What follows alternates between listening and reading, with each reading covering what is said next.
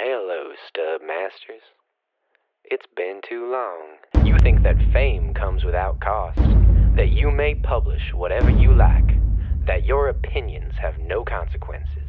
You will pay for your insolence. Who are you? Where the hell is my disc? Let's go, drive! Or how about when I got shot, Jonathan?